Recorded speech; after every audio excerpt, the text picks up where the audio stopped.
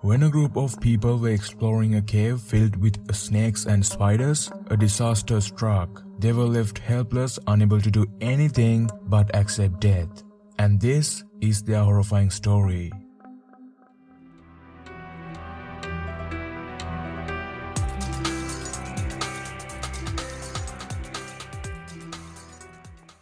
In 2007, Helena Carroll and her fiance John Cullen decided to take the trip of a lifetime. Little did they know, it was going to be the one big mistake that changes their lives forever.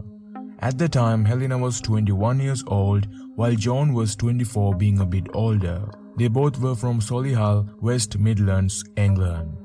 The two knew each other since primary school and were always close with each other. Later in their lives, they became a lovely couple and had been together for four years.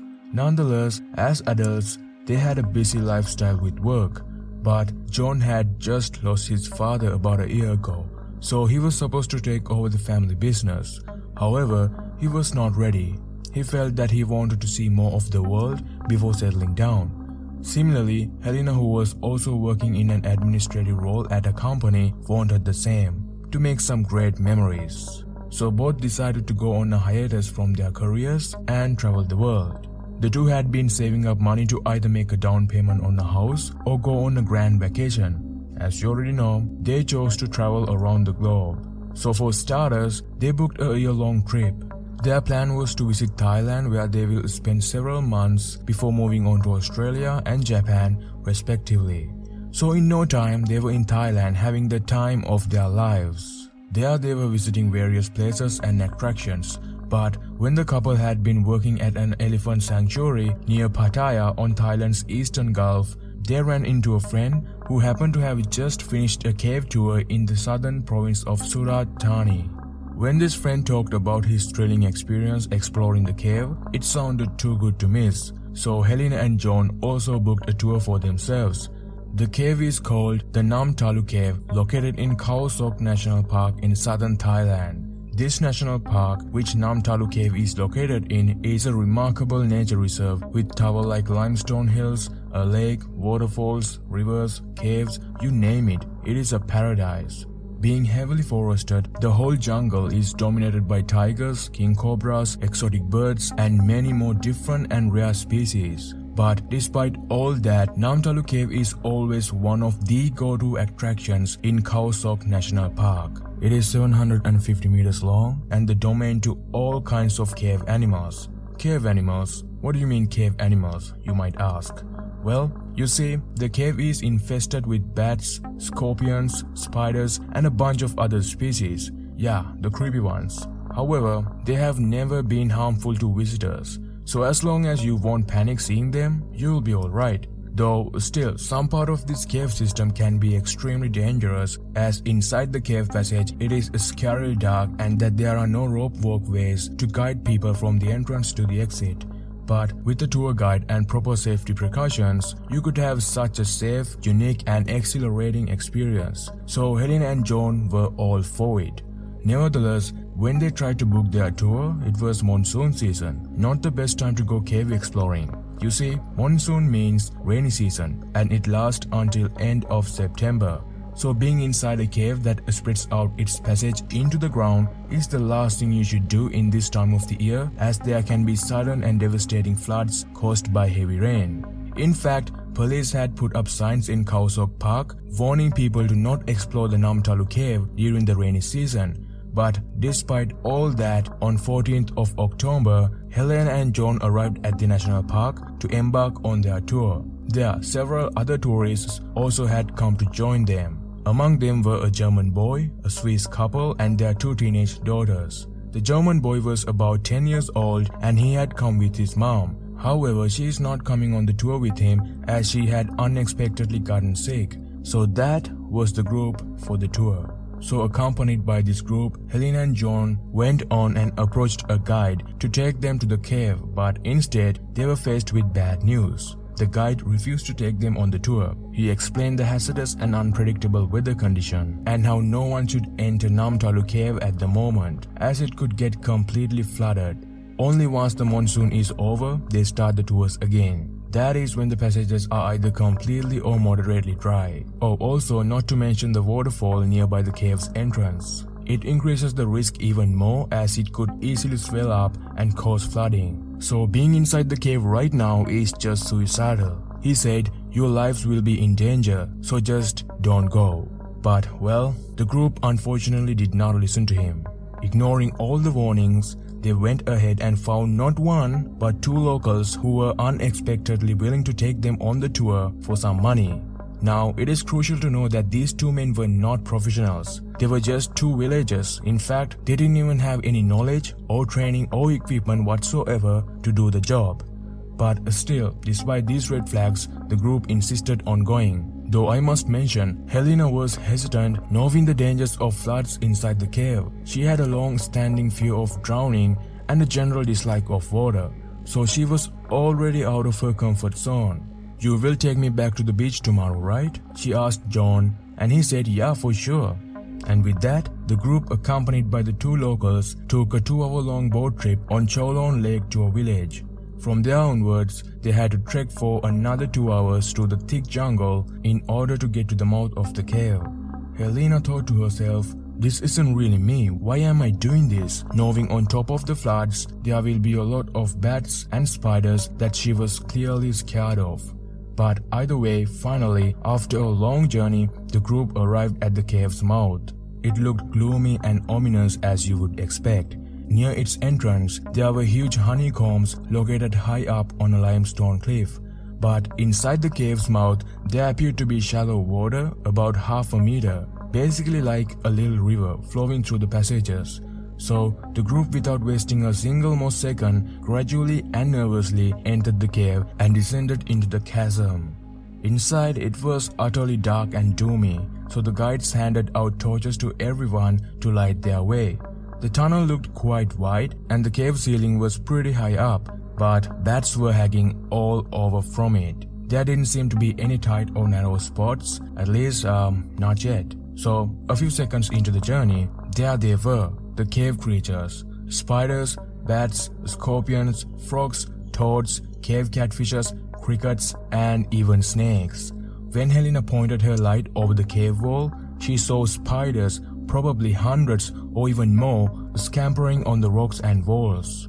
For the first couple of minutes, everybody looked horrified, but the environment inside looked just gorgeous. The uniqueness of it was too distracting. So, not long went by Everybody seemed to be having a good time despite the creeps they got from the animals. So Helena was a bit relieved and not as worried anymore. They had been exploring for some time by this point. More precisely, it had been about 20 minutes. So far so good, but for some reason the water level in the cave has increased a little since the time they entered the cave. At first, everybody panicked a bit, but then thought, no, it's probably nothing too concerning, so they kept going. But no one knew what was really coming. You see, outside it had been raining for a while, which can explain why the water level is slowly raising. Now, you might know where I'm going with this, but yeah, a minute or two passed. Helena heard something really, really loud. I mean a massive and petrifying roar. Not just Helena, but everybody else also heard it. It came from the direction of the cave's mouth. Now that was the sound of a disaster striking. Only seconds after that, They saw a huge and raging wave of water coming towards them from the direction of the cave's mouth. Every single one of them realized it was no joke. They have made a terrible mistake ignoring everyone's warnings. It was a flash flood. Now it's important to know that all this is happening fast within a matter of seconds. No one even had time to process the horrors right in front of their eyes, let alone react and do something like finding and getting on a high ground though Helena and John got lucky and kind of spontaneously started climbing the cave wall right before the wave hit them. The water was rising and rising. It was too fast to keep up and they were getting pushed up.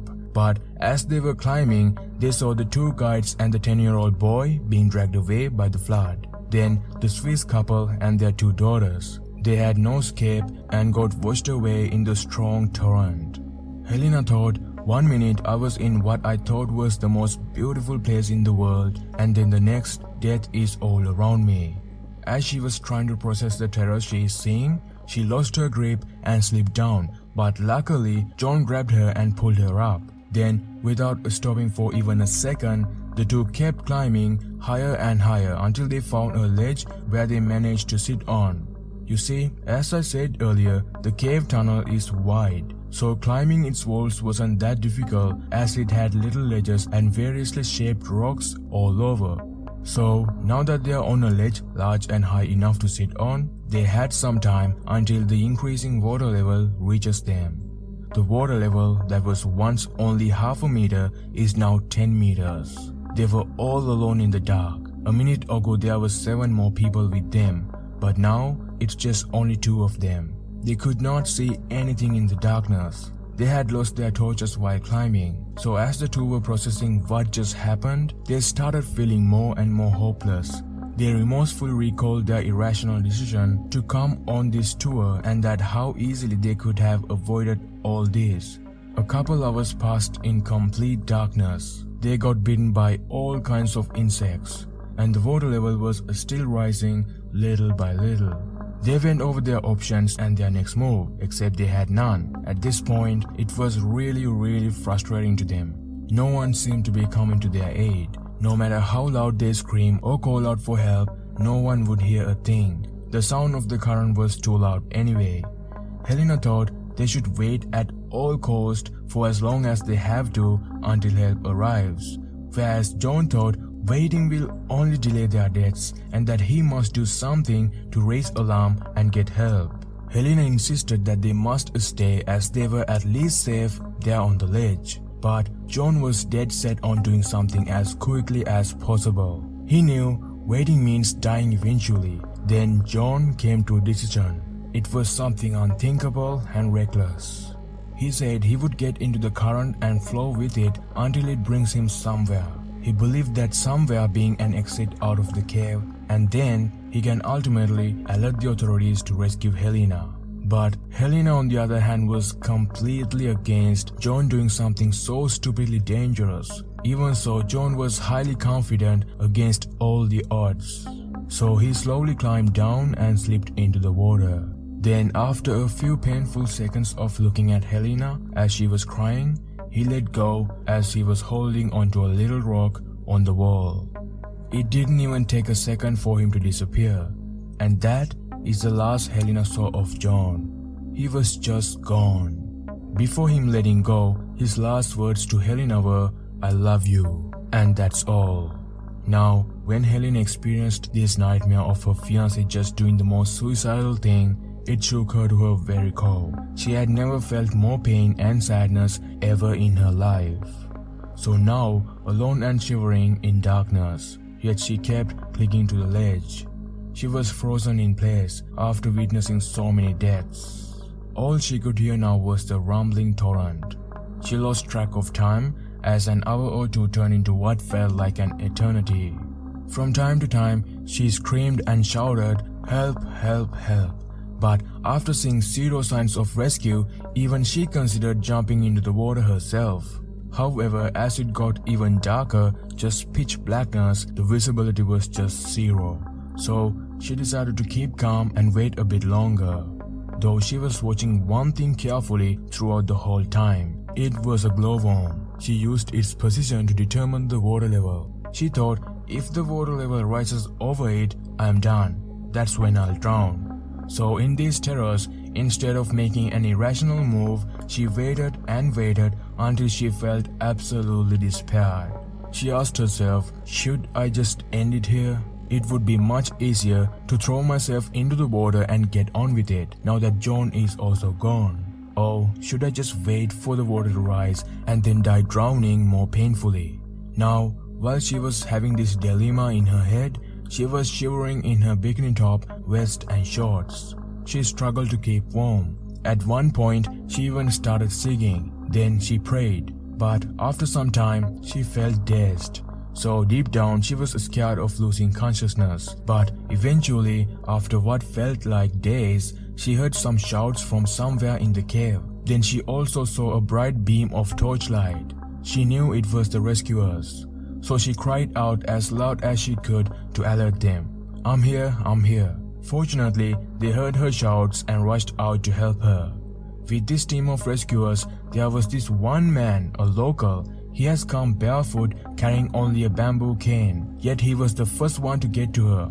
Then, with broken English, he talked to her and guided her back out of the cave safely. Later, they told Helena she was inside the cave, trapped for 16 hours. She could not believe it.